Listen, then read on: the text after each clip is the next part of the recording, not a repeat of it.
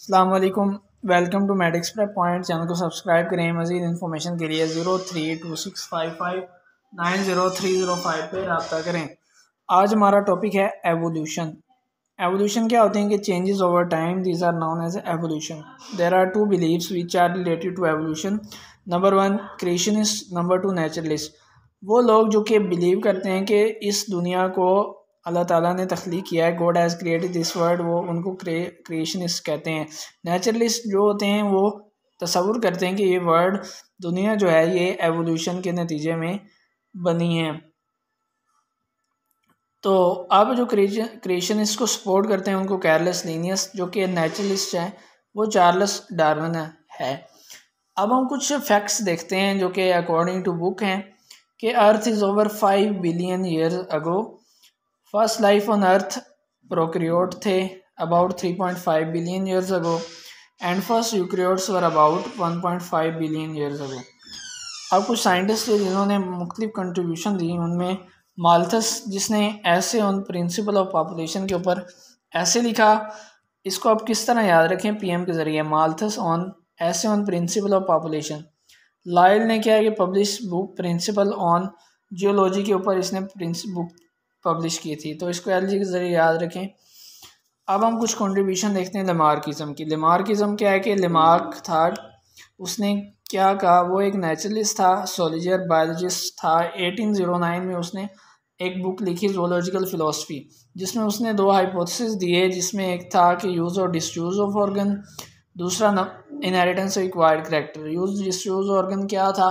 کہ اگر جو بھی باڈی کا پارٹ ہے وہ اگر ایکسٹینسولی یوز ہو تو وہ گرو کرتا ہے اور وہ آگے جنریشن میں ٹرانسفر ہوتا ہے، جس کو انہیریٹنس ایکوائرڈ کریکٹر کہتے ہیں، جس کو بعد میں رد کر دیا گیا تھا، کیونکہ ایسا ہو نہیں سکتا۔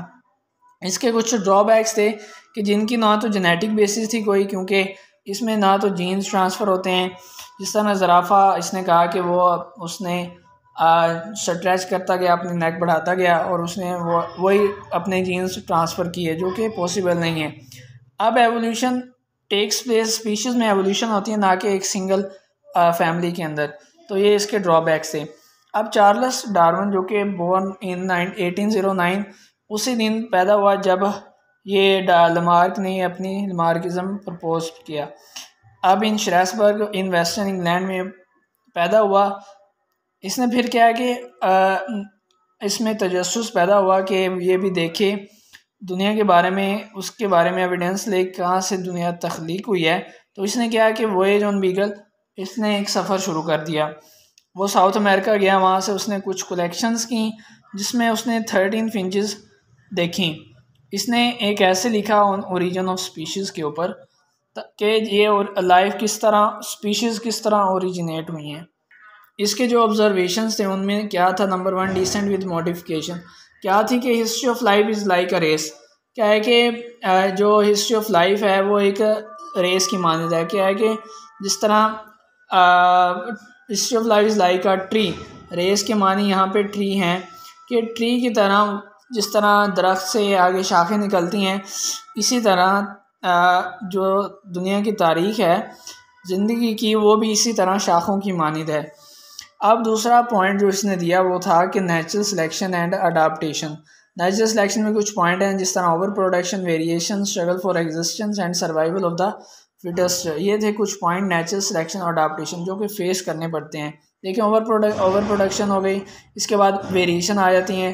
اب جب ویریشن آتی ہیں، کوئی کنی آرگنیزم جو کہ سروائیو کر جاتے ہیں، وہ اسٹرگل جو نہیں کرتے، وہ اسٹرگل میں ہوتے ہیں. اس طرح کچھ سروائیول آف فٹس بھی ہوتی ہیں. اب ایویڈینس آف ڈارون کی بات کریں تو biogeography plus fossil record they are major evidences which give evidence to the Darwin سب سے پہلے انہوں نے دونوں نے ڈارون کو ایویڈینس کے بارے میں بتایا تھا.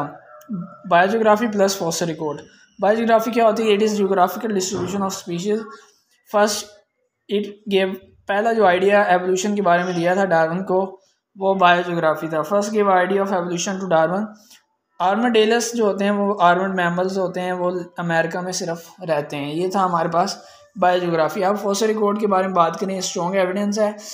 فوسل کیا ہوتے ہیں؟ یہ these are amino extinct organism یہ provide visual record for the evidence of evolution it place that prokaryote were the first organism organism on earth سب سے اولڈسٹ کیا تھے کہ پروکریوڈ سے۔ اب ہم بات کرتے ہیں کمپیریٹیو انیٹمی کمپیریٹیو انیٹمی کیا ہے؟ ہومولوگس آرگن کیا ہوتے ہیں؟ Same structure different function divergent evolution دیتے ہیں. Forelimbs of bats cattle جس طرح آپ دیکھیں، کوئی بھی ہے آرگنیزم اس کے فور لائنز دیکھیں، ہاتھ پاؤں مختلف طریقوں سے کام کرتے ہیں۔ مطلب وہ اوریجن تو سیم تھا لیکن آگے فنکشن ڈیوائڈ ہوا۔